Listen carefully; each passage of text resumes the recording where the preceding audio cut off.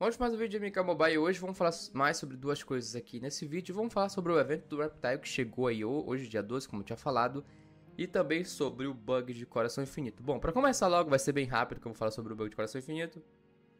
Muita gente vem nos comentários falando, ah, o bug de Coração Infinito tá funcionando mais, e não sei o que, não sei o que. Bom, é, pelo que eu vi, li no, no servidor oficial do Discord da MK Mobile, eu não testei porque eu não faço esse bug de Coração Infinito. Pelo que parece, eles corrigiram o bug. Quarta-feira, né, quando foi lançada a nova temporada aí dessa cripta, dessa agora, é, o jogo ficou com uma estabilidade na cripta, o jogo tava bem, tipo, é, lento, né? Eu sei porque eu tava jogando na hora. Então, eles corrigiram esse bug, provavelmente deve, devia ser algum problema no servidor, porque geralmente bugs eh, o jogo precisa atualizar para corrigir. Então, para quem tava fazendo esse bug não funciona mais, eu mesmo tava fazendo porque para mim não vale a pena. É, você consegue, se você consegue farmar de boa, a melhor opção é você fazer isso. É, não vale a pena você arriscar a sua conta. Como eu falei, ainda mais sendo uma moeda nova, pode resultar em banco. Como eu falei, né, cara? A conta é sua, se você quer correr o risco aí, é, fica ao seu critério. Eu realmente não recomendo esse tipo de bug, porque a Netherrealm é maluca. Por mais que seja um erro do jogo, eles estão cagando e andando para isso. Até porque se você faz isso, na visão deles você é um, meio que um criminoso. Tanto que tá escrito no, no lá no dentro dos termos do jogo, se você exploitar bugs é, para obter vantagem de recurso tudo mais, você pode vir até a conta suspensa. Então, basicamente funciona assim: a conta do jogo não é sua, é deles, você só joga nela. Então, é assim que funciona. Então, a NetherArm é assim, então é a melhor coisa você evitar esse tipo de coisa para você não perder sua conta, porque essa empresa é maluca, ela é louca da cabeça. Então, para quem tava se perguntando se o bug foi corrigido, muita gente falou lá no, no servidor oficial falando, né? Então, inclusive foi mal fuzoei isso lá. Então, o bug de coração infinito não funciona mais, tá certo? Então, para quem queria saber. Vamos agora falar sobre o evento Reptile. Voltou de novo o evento Reptile, o primeiro evento do ano aí. Tá vindo até bem rápido, acho que o último foi em novembro. Então agora tá vindo um intervalo de dois meses, porque provavelmente tá vindo agora é, depois do Caça Relíquia. Então agora tá vindo o evento Reptile Classic. Então provavelmente é, em fevereiro vem o Caça Relíquia, né? Porque agora estão voltando bem rápido. Isso até é bom pro pessoal que não tem esses personagens no X, já conseguir fazer a fusão bem mais depressa. Como é que funciona esse evento do Reptile? Bom, esse evento do Reptile é aqui no modo de missão mas somente no mapa da Exoterra. Vocês estão vendo que toda vez que esse evento está ativo, aparece essa lua aqui, ó, do lado direito, e você pode apertar nela, é, aparece aqui, ó, o tempo de quanto falta para acabar o evento, que geralmente é uma semana, e do lado esquerdo ali vocês estão vendo uma barra, 1 barra 600 já, que basicamente é o número de corações que você precisa para fazer esse evento. Bom, se a barra não aparecer para você, é porque provavelmente você não tem nenhum coração. Caso não apareça essas duas coisas aqui, provavelmente pode ser um problema de cache. Você vai lá em configurações do seu celular, configurações, aplicativos, gerenciar aplicativo, você vai, clique Mortal Kombat e limpa apenas o cache, que é tipo um lixo que fica. Não limpe os dados porque vai resetar o jogo, você vai ter que logar de novo a sua conta. Então, só limpe apenas o cache. Então esse evento é assim, né?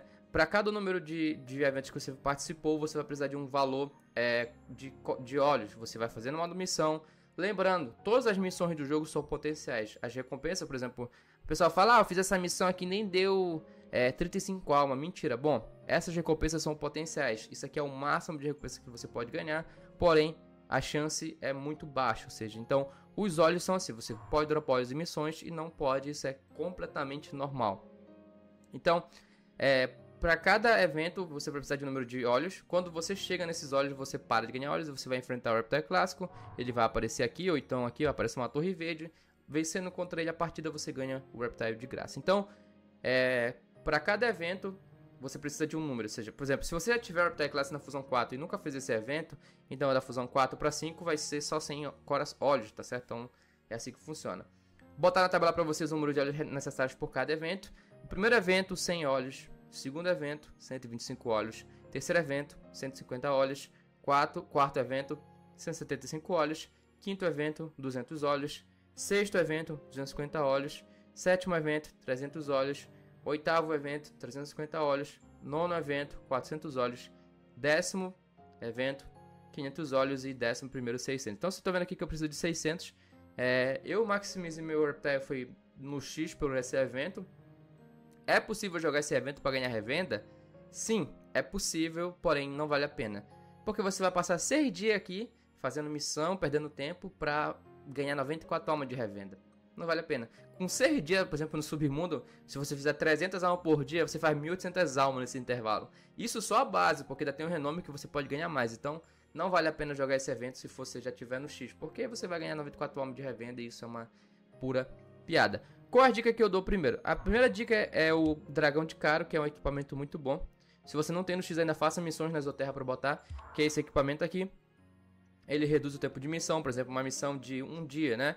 Que é 24 horas, ela vai reduzir em menos 2,4 horas, ou seja, ela vai cair de 24 horas para 21 em alguma coisa. É, uma missão de 8 horas, por exemplo, vai cair também. 8 horas eu não sei quanto fica em minuto, mas é, diminui 10%. Além dela ter chance de melhorar o drop, no caso o loot, né? Então, por exemplo, você pode usar esse dragão nas três missões. Por exemplo, em três missões de um dia, vai cair de 24 horas para uma para 21 horas alguma coisa. Então, você já salvou 3 horas aí em cada missão. E isso é bom para você coletar olhos mais depressa.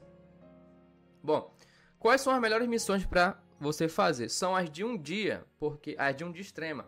Porque, pelos meus testes, elas têm é, eu acho, não tenho certeza, de 50 por 50 50 de dropólise não.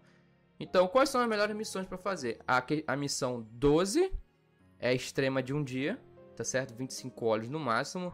A missão 22, eu não sei se tá aqui porque teve uma época que foi bugado. Ah, daqui. A 22, ó. A 22 também é missão de extrema em um dia. Tem outra, eu acho que é 52, se eu não me engano. Deve ter mais outras. São 5 missões de um dia extrema que tem no, no mapa todo. Ó, a 52 é extrema também, tá certo? Então, uma dessas aqui. E a missão 64, que é essa daqui. Outra coisa, né? Coloquem os personagens que são bônus. Por exemplo, na 64 o bônus é o Quan Chi. Então tem aí é, o Quan Chi do Círculo, o Quan Chi Bruxo. Então você põe e coloque o dragão de caro nele. Né? Você botou, exemplo, fez a missão, botou a missão 64, botou o dragão de caro no Quan Chi, beleza. Agora você vai pra missão por exemplo, a missão 22, eu não sei, eu não sei qual é o bônus de cabeça. Você vem aqui, aí você faz a mesma coisa. Bota os bônus aqui, né? E depois é, você bota o dragão de cara e, faz também. Bom, é melhor fazer missão de um dia. Na minha visão, se você quiser, você pode ficar fazendo duas missões de um dia. E se caso você tenha uma submundo, por exemplo, você faz a missão de uma hora. Aí você vai, pode pegar essas almas de uma hora e usar para acelerar. Outra coisa, vale a pena acelerar a missão Olha, se você não tiver. Se você já farma muita alma no submundo, talvez sim, mas você vai gastar bastante. Você vai gastar bastante alma. Mas você vai recuperar isso com o tempo, então isso é bem rápido. Ou então você, porque eu, eu recomendo você fazer, você bota a missão de um dia. É, você, por exemplo, você faz a missão de um dia. E quando tiver faltando umas 5 horas, 6 horas, você gasta acelerando. Você vai gastar, eu não sei qual o valor, 40, 35 alma. E esse valor que você gastou, você vai pegar de volta com a missão concluída. Então é uma boa ideia também.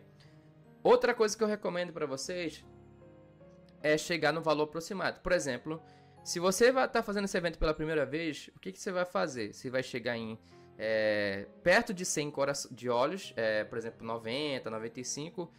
Por quê? Porque se você, por exemplo, vamos supor, faz três missões de um dia.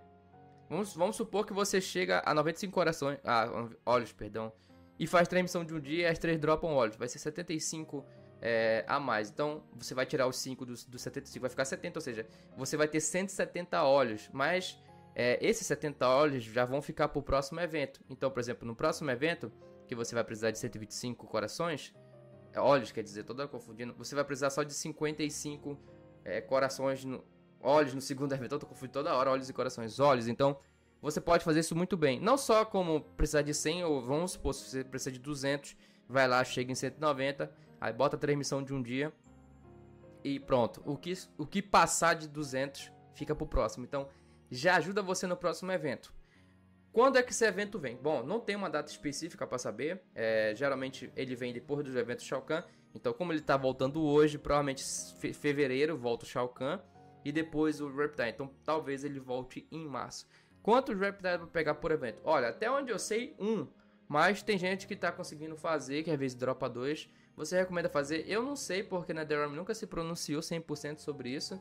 Então, eu não sei dizer. Eles dizem que sim, mas não sei, né? Se você quiser fazer. Eu, na minha época, fazia só um e depois o evento sumia, né? Quando você é, chega no valor que você precisa de óleos, você para de coletar óleos. Você, vamos supor, se eu chegasse aqui a 600, eu não ia mais coletar óleos. As próximas, as próximas missões não iam me dar óleos. Então, assim que funciona. A respeito do Raptor clássico, é um personagem muito bom. Cadê ele? Eu acho que eu vou fazer uma Masterclass dele em breve. Tô fazendo um vídeo de Masterclass, mas eu vou fazer em breve, que agora eu desafoguei vídeo de torre, então acho que dá pra fazer. O Reptile Clássico é um personagem muito bom. Eu acho que eu vou fazer, se vocês quiserem, posso fazer uma, uma Masterclass dele pra amanhã, eu acho, né? Começar a editar aí, gravar e editar. Ele é um personagem muito bom, tem muita utilidade, principalmente é, em torres, em luta de regeneração, ou lutas normais também. Ele é o melhor envenenador do jogo. Na fusão zero é o suficiente. Se ele morrer, a passiva de envenenar continua funcionando. A passiva de dar crítico pra Exoterra continua funcionando. A passiva de umidade de veneno continua funcionando. Então ele é muito bom pra.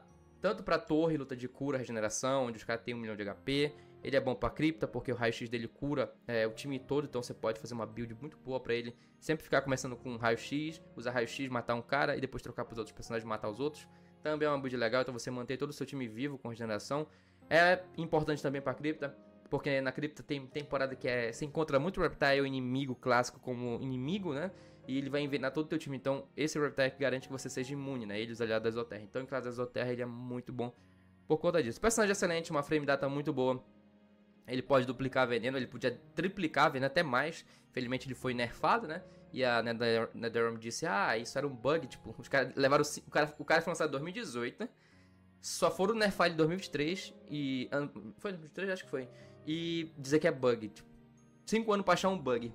Baita competência. Então, tirando isso, é uma personagem excelente. Pra mim, fica entre os melhores do jogo. Ajuda bastante. Não é muito útil pra chefe, porque chefes não tomam DCT. Então, mas no geral, ele ajuda demais aí, essa questão aí. Certo, pessoal? Então é isso, um pequeno vídeo para falar sobre os bugs de coração da cripta e também dicas do evento Reptile Class, tá certo? Boa sorte aí. Eu não vou fazer em nenhuma das minhas duas contas porque eu já tenho ele no 10, tá certo? Não compensa fazer para pegar 94 almas, sendo que eu faço mais de 300 almas por dia com missão, então não vale a pena. Porque eu gastaria 7 dias para ganhar 94 almas em 7 dias, com, se a gente for multiplicar 300 almas por dia com missão, 3 vezes 7, 300 vezes 7, 2100, então não vale a pena. Certo, galera? Então é isso. Espero ter gostado aí é, desse vídeo para essa dica ajudem. Boa sorte na sua caçada do Reptile. Espero que você consiga fundir ou desbloquear tudo mais. Tá certo? A respeito da luta de chefe é bem fácil. É só você... Até com os copos de prata você passa. Hoje em dia tá muito mais fácil por causa do bug de poder. Então é, dá pra atacar DCT nele. Então é muito fácil. Certo, galera? Então é isso. Abração. Até o próximo vídeo. Fui!